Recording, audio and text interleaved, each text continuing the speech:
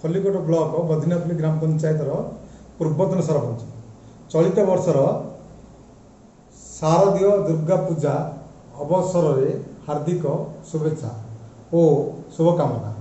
ମା ଦୁର୍ଗାଙ୍କ ଆଶୀର୍ବାଦରୁ ସମସ୍ତଙ୍କ ସମସ୍ତଙ୍କୁ ସମସ୍ତଙ୍କର ଶୁଭକାମନା ପୂର୍ଣ୍ଣ ହେଉ। ନମସ୍କାର ମୁଁ ଲକ୍ଷ୍ମଣ ମାଝୀ ଚନ୍ଦାହାଣ୍ଡି ଗ୍ରାମ ପଞ୍ଚାୟତ ସରପଞ୍ଚ। ଚନ୍ଦାହାଣ୍ଡି ଅଞ୍ଚଳବାସୀ ତଥା ଚନ୍ଦାହାଣ୍ଡି ପଞ୍ଚାୟତବାସୀକୁ ମୁଁ ହାର୍ଦ୍ଦିକ ଅଭିନନ୍ଦନ ଜଣାଉଛି। ଏହି ଦଶହରା ଉପଲକ୍ଷେ ଯେହେତୁ ମହାମାରୀ କରୋନାମୟୀ ସାରା ପୃଥିବୀରେ ବ୍ୟାପି ଚାଲିଛି ଏଣୁ ମୁଁ ମା ଜଗଦମ୍ବେ ପାଖରେ ପ୍ରାର୍ଥନା କରୁଛି ଯେ ମୋର ଚନ୍ଦାହାଣ୍ଡି ଅଞ୍ଚଳବାସୀ ତଥା ମୋର ଗ୍ରାମ ପଞ୍ଚାୟତବାସୀ ସମସ୍ତେ କୁଶଳରେ ରହିବେ ବୋଲି ମୁଁ ମାଙ୍କ ପାଖରେ କୃତଜ୍ଞତା ଜଣାଉଛି। ନମସ୍କାର ମୁଁ ବଦେବାଗ ବ୍ଲକ ଯାଦବ ସମାଜ ଯୁବ ସଭାପତି ମା ଦୁର୍ଗାଙ୍କ ପାଖରେ ପ୍ରାର୍ଥନା କରୁଛି ଯେଉଁ କରୋନା ମହାମାରୀରୁ ସଚେତନ ରୁହନ୍ତୁ ଭଲରେ ରୁହନ୍ତୁ ଜରିଗାଁ ନିର୍ବାଚନ ମଣ୍ଡଳୀର ସମସ୍ତ ଭାଇ ଭଉଣୀ ଗୁରୁଜନ ମାନଙ୍କୁ ଦଶହରା ଉପଲକ୍ଷେ ସମସ୍ତଙ୍କୁ ଦୁର୍ଗାଙ୍କ ପାଖରେ ପ୍ରାର୍ଥନା କରୁଛି।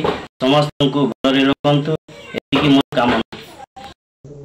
ଚଳିତ ବର୍ଷର ଦୁର୍ଗା ପୂଜା ଅବସରରେ ସମସ୍ତଙ୍କୁ ଶୁଭେଚ୍ଛା ଅଭିନନ୍ଦନ।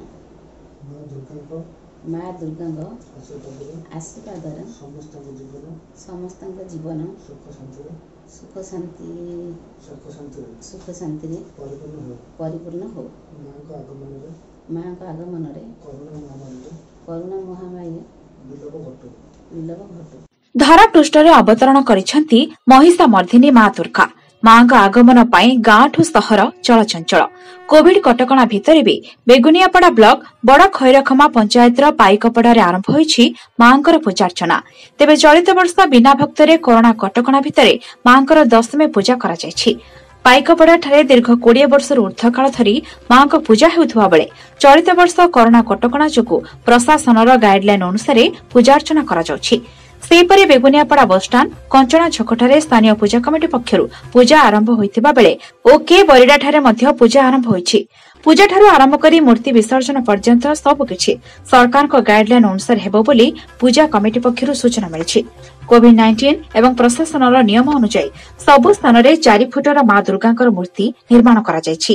ସାମାଜିକ ଦୂରତା ରଖି ଭକ୍ତମାନେ ମାଙ୍କୁ ଦର୍ଶନ କରୁଥିବା ବେଳେ ପୂଜା ମଣ୍ଡପରେ ମଧ୍ୟ ସାମାଜିକ ଦୂରତା ରଖିବା ପାଇଁ ପରାମର୍ଶ ଦିଆଯାଇଛି।